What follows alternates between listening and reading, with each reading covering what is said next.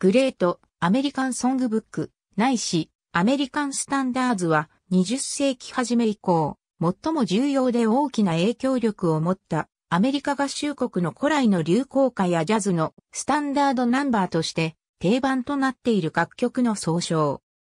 この名称をそのまま表題にした冊子体の楽譜集も何種類かあるが、グレートアメリカンソングブックという表現は特定の書籍なり楽曲リストを具体的に意味するものではなく、主に1920年代から1950年代にかけてブロードウェイシアターのミュージカルやハリウッドのミュージカル映画のために生み出された最も人気が高く息長く支持されている楽曲群を緩やかにまとめた故障である。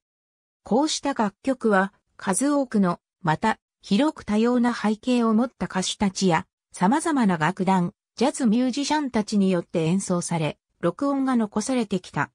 グレート、アメリカンソングブックは、ジョージ・ガーシュウィン、コール・ポーター、アービング・バーリンらによるスタンダード曲を含み、さらにジェローム・カーン、ハロルド・アーレン、ジョニー・マーサー、リチャード・ロジャースなどの作品が入っている。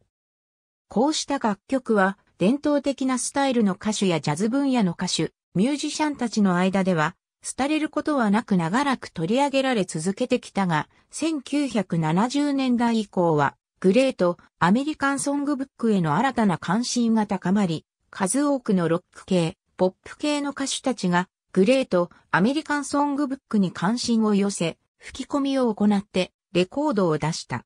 リチャード・ロジャースとロレンツ・ハートとの楽曲が、グレート、アメリカンソングブックに入っているのかについての一致した見解はない。ハル・レナード、JW、ペッパーサン、アルフレッド・ミュージックをはじめ、いくつもの音楽出版社が、グレート・アメリカン・ソングブックを表題にした楽譜集を出版している。アルフレッド・ミュージックは、ソングブックを一つのジャンルとして、リストを作成している。音楽評論家の中には、決定版となるリストを作り上げようと試みる者もいる。例えば、アレック・ワイルダーの1972年の研究所、アメリカン・ポピュラー・ソング、ザ・グレート・イナベイターズ、1900-1950では、ソングライターや批評家などが、グレート、アメリカン・ソングブックに入るのにふさわしいと思う、アーティストは誰か、名前を挙げながら、格付けを試みている。自らも作曲家であるワイルダーは、この著書の中で、作曲家とその創造的努力を特に強調している。ワイルダーがこの本で一人の作曲家について一つの章を割いているのは、ジェローム・カーン、アービング・バーリン、ジョージ・ガーシュウィン、リチャード・ロジャース、コール・ポーター、ハロルド・アーレンの6人だけである。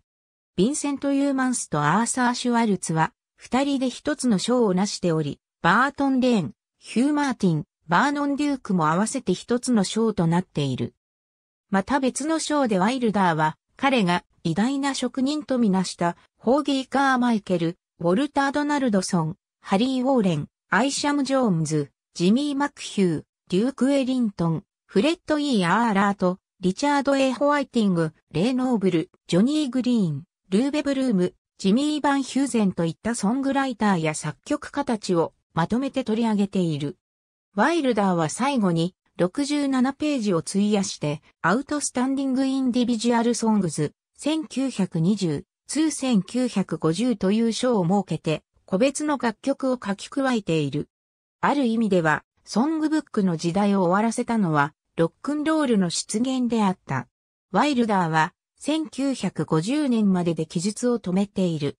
ラジオパーソナリティで、ソングブックの熱烈な支持者であるジョナサン・シュワルツは、このジャンルをアメリカズクラシカル、ミュージックと呼んでいる。ありがとうございます。